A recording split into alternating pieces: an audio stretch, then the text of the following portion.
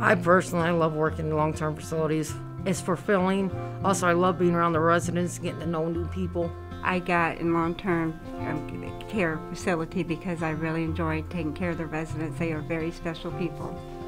I feel like people have helped me all my life, and to have the opportunity to pay it forward and help other people just feels very natural and cyclical. I can't picture doing anything else, really.